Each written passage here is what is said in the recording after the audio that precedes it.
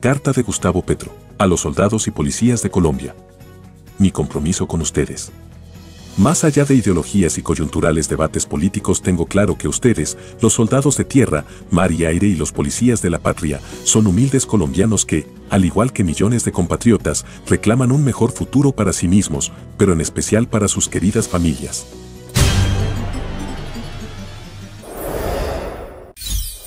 Es innegable el valioso aporte de la mayoría de ustedes en la construcción de una Colombia más humana, como también lo es que no cuentan con una vivienda digna, tienen que esperar meses para obtener una cita médica, los ingresos no les alcanzan para pagarles una educación decorosa a sus hijos, no gozan de descansos acorde a sus extenuantes jornadas laborales e incluso se les volvió un privilegio acceder a un club vacacional.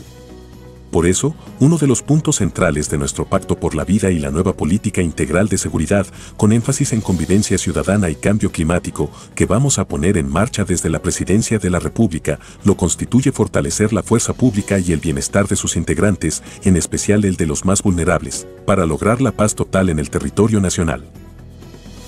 En primer lugar, en alianza con la empresa privada, vamos a construir ciudadelas para que ustedes no tengan que seguir viviendo en zonas marginales, incluso de alto riesgo para su seguridad, máxime si se tiene en cuenta que después de su turno laboral regresan a casa de civil y desarmados.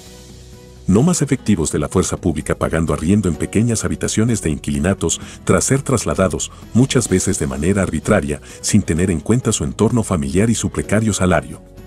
También reestructuraremos los subsistemas de salud que los atienden, los cuales cada vez se parecen más al inhumano servicio que les ofrecen las CPS a los demás colombianos, pacientes en los pasillos de los hospitales, citas para dentro de seis meses o más y falta de medicamentos, entre otros tantos males. Por eso, una de las prioridades será construir nuevos hospitales, como el OSEN, en distintas partes del país y fortalecer instituciones tan importantes como el Hospital Militar.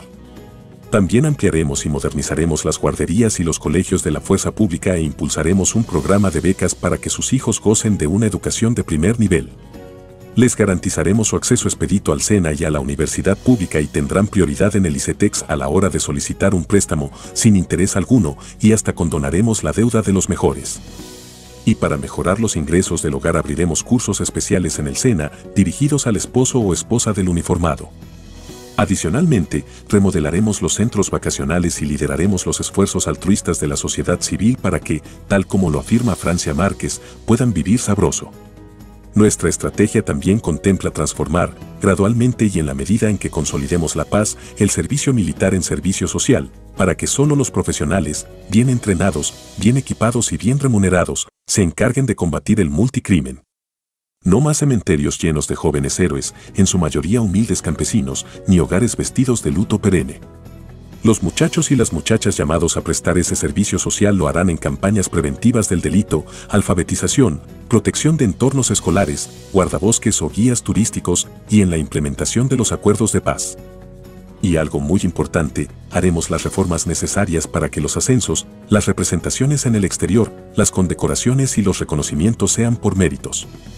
Siempre me he preguntado, ¿por qué un buen soldado o un buen patrullero no puede llegar a ser general?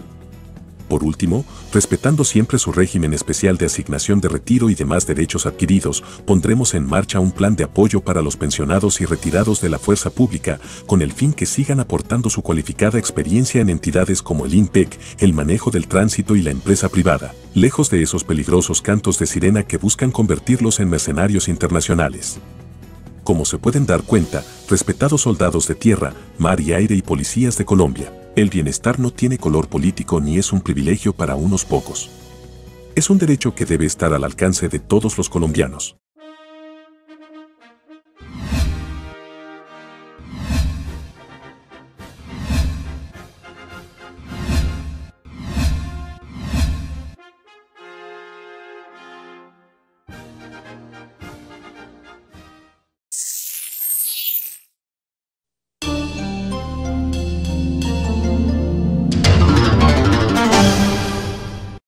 Si te gustó escuchar este artículo, suscríbete a nuestro canal, 90 Segundos Noticias. Recuerda, activar la campanita, darle compartir y dejarnos tu comentario. Gracias.